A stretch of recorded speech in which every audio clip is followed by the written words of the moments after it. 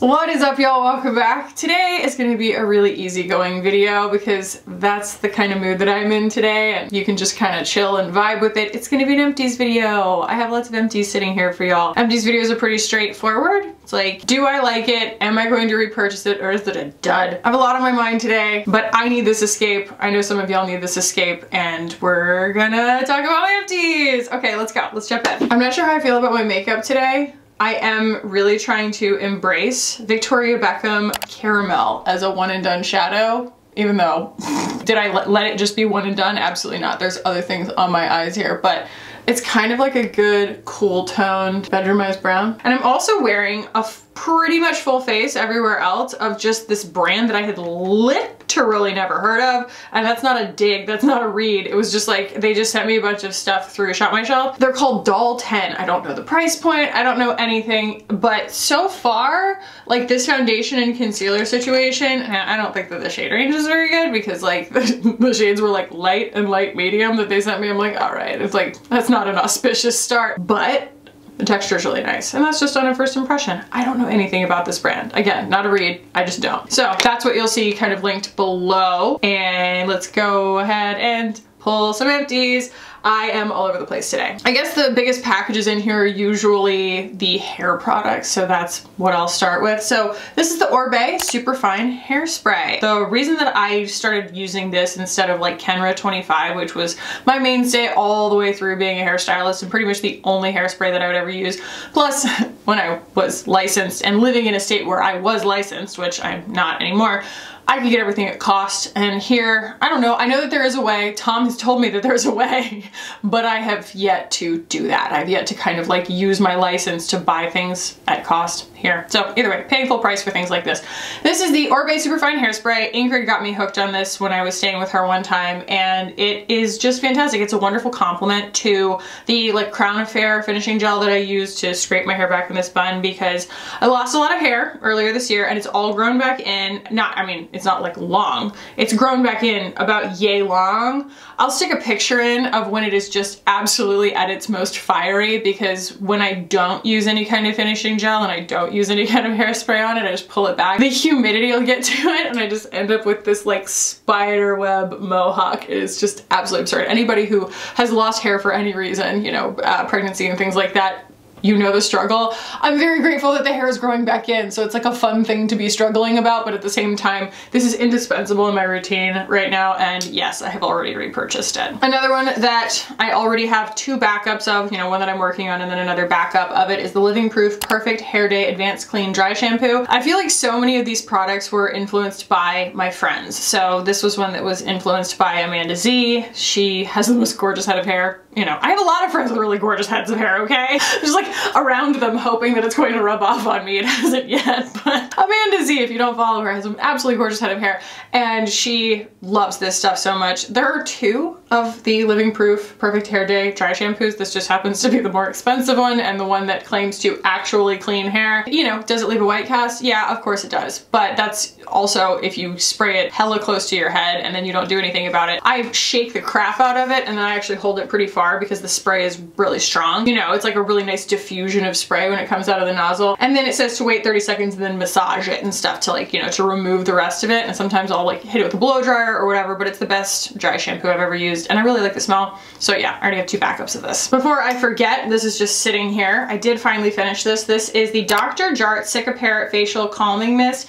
Somebody said that they saw that like this was maybe harder to find or being discontinued or something. I think that they might, this is just purely my observation on the internet. No one has informed me of this. This is not like intel. It just looks like they're changing the packaging maybe to like a shorter, stumpier bottle. I don't know why. Maybe that somebody told me that it was like hard to get all of it out of here maybe like the the nozzle was failing and stuff. So maybe that's why. Maybe that's feedback that they've gotten. Either way, this is a moisturizing soothing mist containing Centella Asiatica complex that calms irritated skin with a hydrating finish. I bought this when I was with Ingrid in the city. We went to this amazing little skincare shop, Asian skincare shop in Chinatown.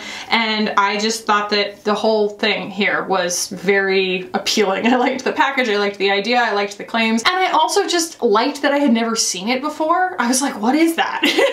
And so I think someone in the store, maybe even Ingrid was like, that's a really great product, you should try it, whatever. It wasn't wildly expensive. And so I did, and I love it, especially as I have had, oh, breakouts and a lot of irritation from a retinol purge and then now I'm just moving past, I would say like the worst bit of perioral dermatitis. Like we're starting to turn the corner with the antibiotics and all the treatment and everything, but every little bit helps that doesn't hurt, you know? And this is one of the things that helps when something is irritated and itchy, instead of reaching up there and scratching it to be able to like spray Centella on there and it leaves like this beautiful finish on the skin fantastic. Dr. Jart, I feel like doesn't get enough appreciation for being a brand that makes really great calming products for sensitive skin. It's just a really, really good brand for that. Like I've always loved the Ceramidin, the entire Ceramidin line, but like when I started getting a lot of redness and irritation on my face for various reasons, and they happened to send me some of their Tiger Grass line, amazing stuff. Just like absolutely incredible stuff. So the Tiger Grass cream that turns beige obviously is like not necessarily sensitive to like, you know, an entire range of skin tones. I fully acknowledge that. But the efficacy of the ingredients that they choose to put into their products, it translates really well to, you know, super sensitized skin. So I definitely recommend most of it. So yeah, I will definitely be repurchasing this. It lasted me so long. I think that I went on that trip June. This has lasted me quite a bit and I, I would highly recommend it. Other things that I, I didn't discover these at that store, but that's why we were going to that store was because Ingrid was picking up her SPF and this is the one. So I have made my way through two of these since then. This is the Isntree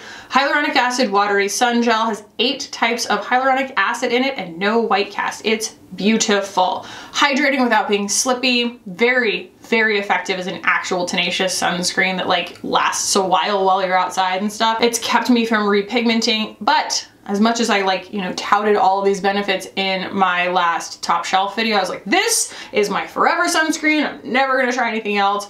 Of course, then I get perioral dermatitis. And I just don't necessarily, it's not that I think that this is not helping or even hurting my perioral dermatitis. I just don't know what it's doing. And so I switched to something that I felt like was more Gentle, which was switching back to the Bloomeffects SPF, which is pure mineral SPF 50. And it's just so luxurious. I love it so much. Do I have it sitting around here? No, it's in my bathroom. I love that stuff. It's incredible. So if you are on the sensitized end, I would highly recommend that stuff. And if you're looking for a really good hydrating, but not like wildly dewy, slippy to death chemical SPF, this is incredible stuff. Just so good and not expensive. And I already have a backup of it. It's, it's a wait and see situation on my skin. You know, I also have my retinol that was compounded by my dermatologist in Texas that like, I swear by it, it completely ages me in reverse, but like, have I been able to use it for the last like two and a half weeks, three weeks? No, because I've been on antibiotics for perioral dermatitis and like you don't wanna use any actives for that. And let me tell you, I miss it. I miss it a lot. So it's still sitting in my skincare refrigerator in my room, just biding her time, waiting until she can help me out some more. But yeah, my whole skincare routine has changed since the perioral dermatitis kicked in, so that's why. Ooh, which gives me an, a nice little segue to talk about this line because I am shocked by how effective this is for perioral dermatitis. Once again, just mad about it because, first of all, because I had such a chip on my shoulder about it, but also because it has absolutely no right to be so good. If it was this easy to make good skincare, why isn't everyone doing it? Like, who did she find that knows this much about how to make great skincare? The Rhode skincare line is so good. And the only reason that the glazing milk isn't in here is because there's so much in the bottle and so I haven't finished it yet, but I already have an entire set of all three laying in wait. This is one that they sent to me. So I got this gifted to me because I would never have bought it on my own, right? And that's, again, it's just because I have like a chip on my shoulder about like this popularity of Hailey Bieber because all she did on TikTok so for so long was just like take trends and name them. And all she had to do was wear her lip gloss a certain way and she could just name it or like name like a, you know, a phenomenon of her like nail color color or whatever. And I just got so annoyed by it because I was like, really? Like you're gonna call that this and then we're all gonna just worship you for having the idea to wear lip liner, you know? And I was just very cynical about it, but uh, by God, y'all, that should speak volumes to me giving praise to her skincare line because like when I say I didn't want to like this, and I not only love how it behaves on my skin. And some people have like qualms about one product versus the other in her line. I just use all three and the lip balm. In fact, I'm wearing, bought it with my own money. I'm wearing the Peptide Lip Tint. I have a cat hair on my face. Stop that. In Toast right now. I bought all four. I love it. I love it. It's so beautiful. I mean, look at it. Good grief. Either way, I have here the Rhode Peptide Glazing Fluid, which is so cosmetically elegant. They all are. They just leave this beautiful, like wet, dewy gorgeousness on your face. And then the Barrier Restore Cream. These lasted quite a while and they're not wildly expensive. You know, the whole set I think is under a $100, like if you got all three. They have been so gentle and like noticeably helpful for my perioral dermatitis. That's what's wild to me is I figured since they're kind of so wet, you know, it was gonna probably not help, but like I was so tired of my skin looking so dry because what you're supposed to do is let perioral dermatitis dry out. It's not supposed to kind of get wet. Wetness allows for bacteria growth and stuff. It might just be a coincidence of the timing of just like, again, rounding the corner on being about halfway through my dosing regimen of actual, you know, oral antibiotics. Sure, it might be that, but this is not hurting. I just like woke up a couple mornings ago and I was like, ooh, that's noticeably better from using the glazing milk and from using these two. So I don't, I'm not a doctor. I'm not a dermatologist. I'm not an expert. But you know what? Doctors and dermatologists and experts can't explain perioral dermatitis either. So we're all kind of just doing our best. And I did, I like read about, I was like, is Rhode skincare good for perioral dermatitis or like absolutely not? And they're like, oh, it's good for all sensitized skin, even with eczema, blah, blah. And I was like, all right, whatever. Yeah, no, it was really good. it's like really good for it. So at least on me, like who knows, but it did a really, really good job. And like you can see how much less texture I have. It's really nice. So yeah, I already have a whole set and all the lip balms. all right, let's knock out my shampoo and conditioner and all my Drunk Elephant stuff right, right at once. So I have the Cocomino Marula Cream Conditioner. I have the Cocomino Glossing Shampoo. We'll talk about the glycolic in a second. So I'll say what I always say and that is most things break my neck out. And when they break my neck out, it's not just like, oh, a little pimple here, a little pimple there. It's like these really horrible like cystic painful things that I'll reach back there and scratch and then I will think I'm going to like bleed out of my eyes. It hurts so much. So um, I've just come back to this and I've never looked back basically. I spend lots of money on these because I wash my hair every single day. I don't want to talk about it. I don't want to talk about it. I wash my hair every day. I just keep buying them because they are the only thing, the only thing that I have tried. I have tried all sizes, shapes, price ranges, what have you, of different shampoos and conditioners, and this is the only one that doesn't break my neck out, and that's why I continue using it. That's like how I know it's time to make a Sephora order, is when I run out of those, you know? And I, I try not to actually run out. I try to like, you know, load up on them, especially during the Sephora sales and stuff, because I know I'm never gonna like change my routine. So the answer is I have a lot of those, yes, repurchased, obviously. And then this I also have like two sitting in my cabinet, basically waiting to be opened. So this is the TLC Glycolic Glycolic Body Lotion. I think, yeah, I went ahead saved a box here of the Soft Services buffing bars, the microcrystal exfoliants, so these blue bars, and they are what I use to scrub all of my KP off of my shoulders and my back. And then I use this when I get out of the shower, and it is what I like to call a light up your life moment because, you know, you've opened the skin ever so slightly, and then you take something as active as, I think this is a 10% AHA blend, yes, uh, glycolic and some other stuff. You put that on top, and let me tell you, when you have had a lot of KP and you're really annoyed with it, this feels like revenge. good way. I have been also using the Tulip, the Royal Tulip scrub or whatever it is, the enzyme scrub from Bloom Effect on my shoulders and my neck and stuff while I'm in the shower just because, you know, just to mix it up, you know what I mean? And someone messaged me and they were like, what's the difference between this and those buffing bars from Soft Services? I said, it's less violent. She's like, okay, I'm gonna purchase that. because not everybody is here for like, you know, NASA levels of like sanding off the top three layers of your skin. You can hurt yourself with these. Keep them wet, be smart, be responsible. I was not responsible the first time that I used this and I basically gave myself road rash. So that should tell you all you need to know. Use them at your own risk, but by God, this combination will wipe out your KP. Oh, here's another conditioner. I was probably just on the very end of it before we did the last empties because, you know, I use the shampoo fast, then I use the conditioner, but either way. Oh, never mind.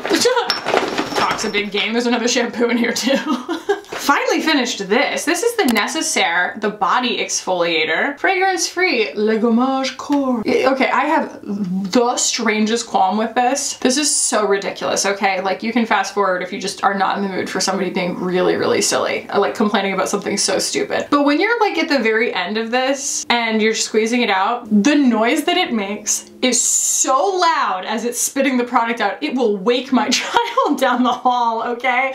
I will be in the shower and this thing goes like squirting this product out and makes this like really loud like chirping noise that like has made my child wake up and start crying. So that is like the only reason I think I won't repurchase this that and you know for the aforementioned reasons that like I think this is a great exfoliator. It's beautiful. I think it's like charcoal that's the exfoliation in it so it dissolves on the skin which is really nice but that's also in comparison to some of the other things that I have especially the microcrystal buffing bars it's not really tenacious enough to really make a difference. I feel like it's nice on my legs. It feels really good and if you don't have NASA level desires, needs, wants for exfoliation, you know, for physical exfoliation, then this might be fantastic for you, but it's just not quite enough for me. Like it's a spa experience, it's really lovely, but it's not effective. It's not doing, it's not moving mountains and I need it to move mountains, you know? Plus that loud, squeezy chirping sound. It's just kind of the world's stupidest deal breaker, I know. Only one of these today, and that's because I have just been using other things so much. Again, I've been using the Rhode line, which is a lot less expensive. You can get all three of those products for two thirds of the price of this, less than two thirds of the price of this, and I don't know, it's just other things have kind of taken precedent, but this will be something that as I move into winter, you know, it's a mainstay. I, I literally have to have it. Like my skin cannot survive without it so far during the winter time, during being really, really, really, really dry. So this is the SkinCeuticals Triple Lipid Restore 242. It just, it's like every time I blink, they drive the price up. It's completely ridiculous. It's like $150 right now. I'm not gonna sit there and tell you to buy this. It's just the only thing that I've ever found that when my skin is actually at its driest, it can like bring it back back from the dead. And it makes it like my skin is not chronically dry. That's how it feels. And I also suffer from the issue of like, I, somebody said that it's like a side effect, I think, of Taltz, which is what I, my auto injector for psoriasis. It's a biologic that I take every month to make sure that I'm not a lizard in real life. Like my whole scalp would be like covered in psoriasis if I didn't. So the side effect someone told me of that is kind of chronic rhinitis. And so like my nose just runs absolutely constantly. In fact, like you can see it's actually like cut right here because it'll just, the skin broke and then healed like that. And it's because my nose is just absolutely running constantly. And this in combination with slugging, slugging has completely changed my life. I haven't been doing it because of my perioral dermatitis, but I've been using actually, I've, I've, actually come back around to it like last night I did for the first time in, in weeks. And I used the Royal Tulip Nectar from Bloomeffects to do it and it's made all the difference in the world like goodbye petrolatum. Like I mean petrolatum's great and everything but like it's been that that Royal Tulip Nectar is off the freaking charts. It's so good. So anyway that has really saved me. I, I realized today that I haven't had that issue in a long time. So grateful to my wildly expensive but incredibly effective moisturizing products like this so I, I, have two more backups of this right now. It's the only thing that I think I have. Well, on Amazon I have auto replenish, but that's like the, yeah, that's the only like skincare product I have on auto replenish. And do you see my nose still runs constantly. Absolutely constantly. Finished one of these. This is the Osea Undaria Algae Body Oil. And this is one of the most gorgeous products that has ever crossed my plate. It has this lovely natural kind of citrus smell to it. It's the most effective body oil that like gives me like sexy supple skin but it's not like greasy it soaks in but it truly looks different. It's like cosmetically elegant. It's really nourishing long term like I went into a Bluemercury with Hindash and just dragged him over to this. I was like you don't understand. This is important. The beauty of this also is the fact that now at Credo at least I know at Credo but some other places too they have a big boy. So this is the five ounce but now they have a nine ounce and it's huge. And I bought that one at the last Credo sale. So yeah, I definitely recommend getting the big boy if you love this and I recommend this wholeheartedly. It's just so good and it lasts so long and it's the best body oil I've ever used. Like never look back. So yeah, I already have, I have the big boy that I'm working on right now. Ooh, here's one. Okay, so this is the Furtuna Skin Bi-Phase Moisturizing Oil. It smells like licorice and Furtuna is a really beautiful company out of Sicily. I've tried a lot of their products. Their toner, oddly enough, is like my, their micellar toner is like one of my favorite products, like favorite skincare products hands down. And I also really loved this. I used it all the way up because I like it but I'm going to continue using the Iconolab. Iconolab Renewal Face Oil is still my absolute favorite face oil and it is the most cosmetically elegant and it smells lovely. It makes me look younger. It's totally beautiful. I love this. I do, I do, I do, I do, and I wouldn't ever kick it out of bed. You know, if they sent me another one, I would use it all the way up kind of thing but I would rather use the Iconolab. So they're about the same price. Actually, I think this is probably more expensive. And yeah, that's why I won't be repurchasing it, but it's super lovely, like super duper lovely. All right. And last but not least, and this is actually something that's a callback to a recent video, I have two Hourglass Unlocked mascaras here. This is Hourglass's tubing mascara and I love it so much. It's just easier for me to get than the Thrive one. If I could go buy Thrive in person, I would. They had a little brief stint at Ulta where they were selling the mascara there. I would do that because it comes in brown and this doesn't, but it's just been the thing like they sent me one. I think they sent me another one and then recently I actually just stopped by Sephora and bought one because I was like, I love this mascara. I don't mind the black, it's a good black you know, it's a nice glossy black and it's a really, really lovely formula that's very reliable and it lasts a long time. The reason, well, I shouldn't say the reason that there are two, but the story here is just that like, I thought that I was working on one and I was actually, I think, maybe accidentally working on two. I can tell this one's a lot older just by the look of the package, like it's a lot more beaten up. But regardless, I freaked out because I was like, I thought I was on like the last couple of days of being able to use one that was maybe like six weeks old or something. And then I realized like, oh, there's another one kicking around in my collection and I have no idea how old it is. And so I put them both in my empties just out of pure safe measure. And so that is what we're looking at here. Absolutely gorgeous packaging, heavy, heavy, heavy, just like very luxurious and has, you know, the typical nylon one. Like it's so, so, so, so similar, even like down to the ingredients and the formula to the Thrive. It's just a little bit flutterier, a little bit lighter weight, and unfortunately it doesn't come in brown. I don't know, it'll be cool if they ever come out with brown, but it's just become my mascara of choice lately, so there's that. Those are my those are my last ones. So yeah, a chill little empties video for y'all today, just kind of catching up on everything that I've finished. And can somebody in the comments tell me, because I, I mean, I'll just Google it probably, but like where am I taking my empties now? Because I filled my TerraCycle box. Do I get another TerraCycle box? Or is there like a program now? Because I've had that TerraCycle box for literally years, so let me know. I hope y'all enjoyed this. If you did, please do give it a thumbs up. If you're not yet subscribed, cool people subscribe. You should probably subscribe. It'd be cool if you did. And I will put a video up here that I think you're going to enjoy if you liked this one. I love y'all so much. Thank you for watching. I will see you in the next one. Bye.